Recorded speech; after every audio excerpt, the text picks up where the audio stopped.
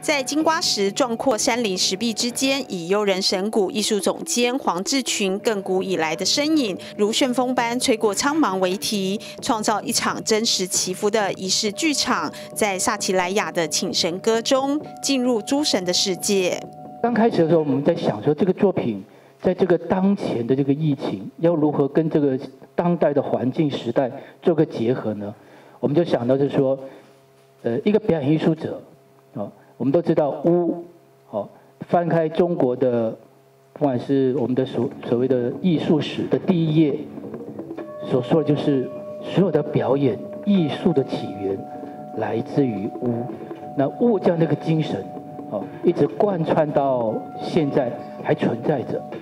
那我们就选了在金瓜石的耿古剧场地质公园，因为那个场地是一个非常壮阔，山林石壁是非常的。具有原始性山林的一种互换，呃呃，给了这个作品亘古以来以幽以巫这样的一个角色去贯穿这个作品的的整个精神。当时在接收到幽人神谷的邀请，我们是非常喜悦的，因为我们可以为这个土地做事情，我们可以去服务这样的一个大地，同时也可以邀请呼唤金瓜石在地的神灵。跟我们的祖灵来到现场。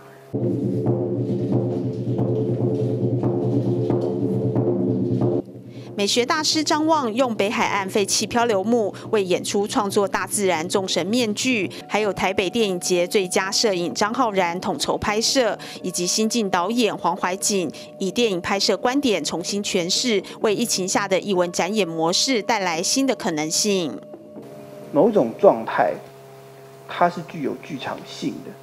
那我们如何在影像的、影像的的的角度去跟这个性质产生某个关联性？当然，这这不是说所有的呃影像剧场它都是都应该走这个方向，但我觉得这个是呃亘古以来这个作品它试图去切入的一个很重要的点，就是我们去透过影像来找到。我们跟剧场的源头的脉络的关系。